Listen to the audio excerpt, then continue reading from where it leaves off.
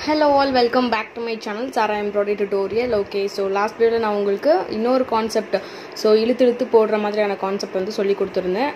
Stem stitch அதே வந்து கொஞ்சம் பிகினர்ஸ் போடுற மாதிரி. அதுக்கப்புறம் கொஞ்சம் எக்ஸ்பீரியன்ஸ் ஆனதுக்கப்புறம் எப்படி ப்ராக்டிஸ் பண்ணணும் அப்படின்னு நான் உங்களுக்கு காட்டியிருந்தேன். அதுக்கப்புறம் அதே சேம் ஸ்டிச்சை வந்து லெஃப்ட் சைடில் ப்ராக்டிஸ் பண்ணுங்கள் அப்படின்னு சொல்லியிருந்தேன். ஸோ கண்டிப்பாக இது ப்ராக்டிஸ் பண்ணியிருப்பீங்கன்னு நினைக்கிறேன். இனி வரக்கூடிய சில stay most of the stitches வந்து இதை பேஸ் பண்ணியிருக்கோம். அப்படி இல்லாட்டி செயின் ஸ்டிச்சை பேஸ் பண்ணியிருக்கோம். ஸோ இது ரெண்டு தான் மெயின் இம்பார்ட்டன்ட் பேசிக்ஸ் ஸோ இது ரெண்டும் நம்மளுக்கு தெரிஞ்சிருந்தாவே அடுத்தடுத்து போடுற ஸ்டிச்சஸ் அதுக்கப்புறம் நம்ம பேஸ் பண்ணி போட டிசைன் போடும்போது அதே சேம் ஸ்டிச்சே வந்து கொஞ்சம் கொஞ்சம் மாறும். ஸோ அதெல்லாம் டிசைன் போடும்போது நான் உங்களுக்கு சொல்கிறேன் ஸோ அடுத்தது நம்ம என்ன பார்க்க போகிறோம் அப்படின்னா கிராஸ் வைஸ் ஸ்டிச் பார்க்க போகிறோம் கிராஸ் வைஸ் ஸ்டிச் வந்து நிறைய பேர் வந்து கேட்டே இருந்தாங்க. அண்ட் இந்த ஸ்டிச்சை வந்து அகெயின் நெக்கை சுற்றி போடுறதுக்கும் அண்ட் சிம்பிளாக போடுறதுக்கும் நல்லாயிருக்கும். அண்ட் சீக்கிரமாகவும் போட்டுடலாம். கொஞ்சம் டிஃப்ரெண்ட்டாகவும் இருக்கும். ஸோ எடுத்தோடனே வந்து க்ராஸாக ஒரு செயின் ஸோ அதனால தான் க்ராஸ் வைஸ் ஸ்டிச்சு க்ராஸாக ஒரு செயின் இந்த செயினை வந்து இதை வந்து முடிச்சிடுங்க முடிச்சிட்டு மேலே ஒரு செயின் போடணும். ஓகேங்களா? மேலே போட்ட செயினை வந்து இதை அப்படியே இழுக்கணும். இழுத்து இந்த மேலே போட்டோம் பார்த்தீங்களா இப்போ இந்த மேலே போட்ட செயினே காணும். ஸோ மேலே போட்ட செயின் தான் இழுத்து இந்த இடத்துல நாட் ஆகியிருக்கு. ஓகேங்களா? ஸோ நம்ம மேலே போட்ட செயினை காணும் அப்படின்னு நினைக்காதீங்க. ஸோ மேலே போட்டது தான் இழுத்து இந்த இடத்துல நாட் ஆகியிருக்கு. ஸோ நாட் ஆனதுக்கப்புறம் அகெயின் இந்த இடத்துல டச் பண்ணுற மாதிரி. ஸோ எதர் நீங்கள் அதே இடத்துல போட்டாலும் ஓகே இல்லை அது பக்கத்தில் ரொம்ப பக்கத்தில். ஸோ அதே இடத்துல இன்னொரு ஸ்டிச் போட்டு அதையும் கீழே இழுக்கணும். ஸோ இப்போ நாம் இந்த சைடு மேலே போட்டோம் இல்லையா அந்த ஸ்டிச் வந்து பாருங்கள் இழு இழுத்து இந்த இடத்துல நாட் ஆகியிருக்கு. ஸோ நம்ம நாட்டெல்லாம் சென்டரில் ஆகிட்டே வரும். ஸோ எடுத்துட்டு எதர் அதே ஹோலில் விடுங்க இல்லை கொஞ்சம் அதை விட மேலே. அப்போ தான் இது வந்து கொஞ்சம் டச் டச் பண்ணி க்ளோஸ்டாக வரும். நம்ம வந்து கொஞ்சம் பக்கத்துலையோ இல்லை தூரத்துலையோ பண்ணோன்னா ஏதோ தனித்தனியாக ஸ்டிச்சஸ்லாம் தனித்தனியாக இருக்கிற மாதிரி இருக்கும். ஒன்றா இருக்கிற மாதிரி இருக்காது. ஸோ அதே ஹோலில் இல்லை அதோட கொஞ்சம் லைட்டாக மேலே. அப்போ தான் வந்து ஒன்றா இருக்கிற மாதிரி இருக்கும். அண்ட் இதில் மெயினாக நீங்கள் நோட் பண்ண வேண்டியது வந்து நீங்கள் க்ராஸ் க்ராஸ் இந்த டிஸ்டன்ஸ் ஒன்றில் வந்து ரொம்ப இப்படி க்ராஸ் ஆகவோ இல்லை வந்து டிஸ்டன்ஸ் கொஞ்சம் ஜாஸ்தி கம்மி அப்படி பண்ணிங்கன்னா ஸ்டிச் வந்து ஒரு இடத்துல குட்டியாக பெருசாக அந்த மாதிரி ஆகிட்டே வரும். ஸோ ஒரே மாதிரி இருக்கிறதுக்கு நீங்கள் இந்த க்ராஸை வந்து இந்த இடத்துல பாருங்கள் இப்படி போட்டிருக்குன்னா அதுக்கு பேரலாக இருக்கிற மாதிரி போடணும். அண்ட் இந்த கேப் ஸோ அடுத்த வாட்டி நான் இதை போடும்போது இந்த கேப்பும் இந்த கேப்பும் ஈக்குவலாக இருக்கணும். ஸோ இந்த பக்கமும் கேப்ஸ் ஈக்குவலாக வரணும். இந்த பக்கமும் கேப்ஸ் ஈக்குவலாக வரணும். ஸோ இதை மட்டும் நம்ம கான்சென்ட்ரேட் பண்ணி பண்ணோம் அப்படின்னா ஸ்டிச் வந்து சூப்பராக வரும். ஸோ கத் கரெக்டாக பண்ணோம் அப்படின்னா ஈஸியாக வந்துடும் சம்டைம்ஸ் நிறைய பேர் கன்ஃபியூஸ் ஆகிறது என்ன அப்படின்னா இப்படி க்ராஸாக வராங்களா இதை வந்து இப்படி க்ளோஸாக போட்டுருவாங்க. ஸோ க்ளோஸாக போட்டிங்க அப்படின்னா மேலே ஸ்டிச் போடுறது ரொம்ப குட்டியாக இருக்கும். அதுக்கப்புறம் நாட் வந்து இந்த இடத்துலேயே வந்துடும் அண்ட் அதுக்கப்புறம் நீங்கள் போடுறது இங்கே க்ளோஸாக வரும். அப்படியே நம்மளுக்கு ஆட்டோமேட்டிக்காக மிஸ்டேக்ஸ் ஆகிடும் அண்ட் நிறைய பேர் வந்து இப்படி க்ராஸாக ஸ்டிச் போட்டதுக்கப்புறம் மேலே போகணும் அப்படிங்கிறத மறந்துட்டு கீழே வந்து ஒரு ஸ்டிச் போட்டுருவாங்க. அதுக்கப்புறம் அவங்களுக்கு என்ன பண்ணுறதுன்னு தெரியாது. அகெயின் மேலே போவாங்க க்ராஸாக வருவாங்க. அப்படி தான் வந்து கன்ஃபியூஷன் ஆகும். பட் இது வந்து நல்லா மைண்டில் வச்சுக்கோங்க. க்ராஸு மேலே க்ராஸு மேலே அவ்வளோதான் ஸோ க்ராஸாக ஒரு ஸ்டிச் போடுறீங்க அப்படின்னா மேலே ஒரு ஸ்டிச் அகெயின் க்ராஸாக ஒரு ஸ்டிச் போடுறீங்க மேலே ஒரு ஸ்டிச்சு ஸோ அவ்வளோதான் இதோட ஃபார்மேட்டு அண்ட் ரொம்ப ஈஸியான ஒரு ஸ்டிச் தான். அண்ட் ஃபாஸ்ட்டாகவும் போட்டு முடிச்சிடலாம். ரொம்ப டிஃப்ரெண்ட்டாக இருக்கும். இது வந்து ஆரி எம்ப்ராய்டரி பேஸ் மாதிரியே இருக்காது. ஒரு செயின் ஸ்டிச் யூஸ் பண்ணி பண்ண மாதிரி இருக்காது. டிஃப்ரெண்ட்டாக இருக்கும். ஸோ இதை வந்து நம்ம நெக்கை சுற்றி சிம்பிளாக த்ரெட் ஒர்க் கேட்குறவங்களுக்கெல்லாம் இதே வந்து நம்ம த்ரெட்டில் பண்ணோம் அப்படின்னாலும் இன்னும் நல்லாயிருக்கும் இதே வந்து இன்னும் எனக்கு கொஞ்சம் குந்தன் ஸ்டோன்ஸ்லாம் வச்சு கிராண்டாக பண்ணணும் அப்படின்னா இன்னும் கொஞ்சம் இதை பெருசு பெருசாக போடுங்க. ஸோ இந்த இடத்துல பாருங்கள் குட்டி குட்டி ஸ்பேசஸ் இருக்கு இல்லையா?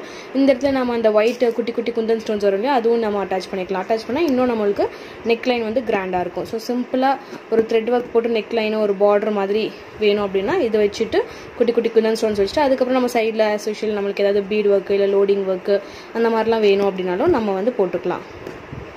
ஸோ யூஸ்வலாக வந்து நம்ம வெறும் செயின் ஸ்டிச் அவுட்லைனாக கொடுப்போம் இல்லையா? ஸோ அதுக்கு பதில் இதுவும் நம்ம கொடுக்கலாம். கொஞ்சம் டிஃப்ரெண்ட்டாக இருக்கும்.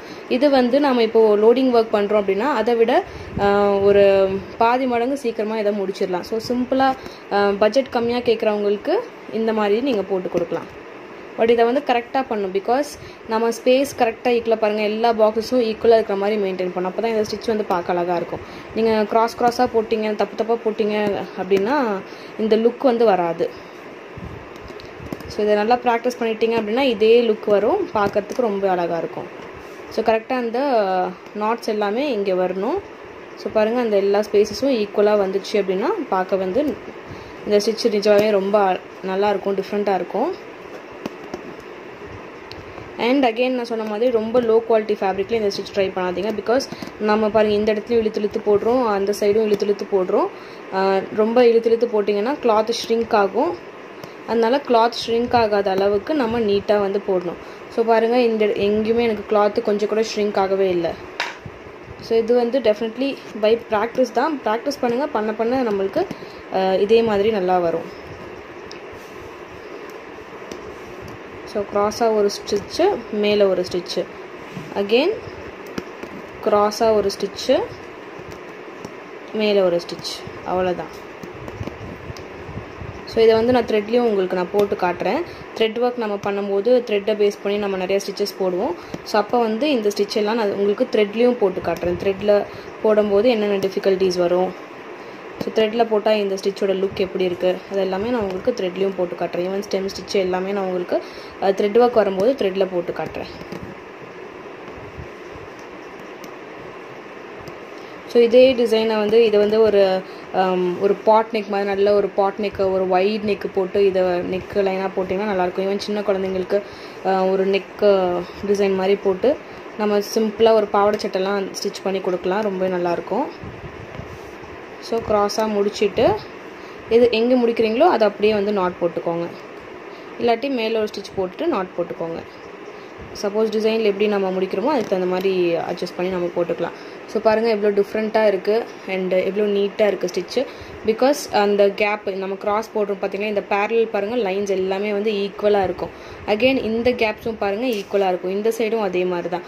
அந்த பேரலல் லைன்ஸை நீங்கள் கான்சென்ட்ரேட் பண்ணி போட்டிங்க அப்படின்னா எல்லாமே வந்து எல்லாமே பாருங்கள் அப்படியே um, டச்டாக வருது இல்லையா?